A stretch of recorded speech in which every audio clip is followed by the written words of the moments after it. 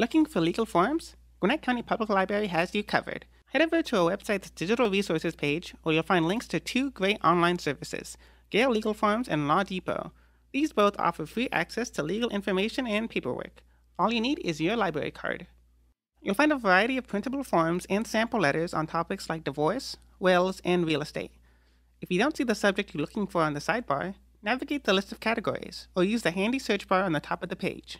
Click on a topic of interest and you'll be redirected to a comprehensive list of related forms, each with its own short description. Legal jargon can be confusing and dense, but conveniently, there's also a list of legal definitions in a legal Q&A section to help you out. Would you rather fill out your forms digitally? Check out Law Depot, powered by Libby, the library's ebook and e-audiobook app. Sign up for a Libby account to access those ebooks and audiobooks in addition to the treasure trove of legal forms found in Law Depot.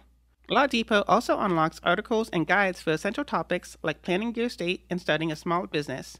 You can use the search bar to find specific forms, or you can use the drop down menus to browse categories.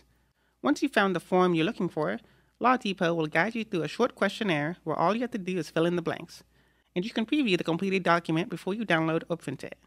Navigating legal forms has never been easier thanks to these digital resources available from your Gwinnett County Public Library.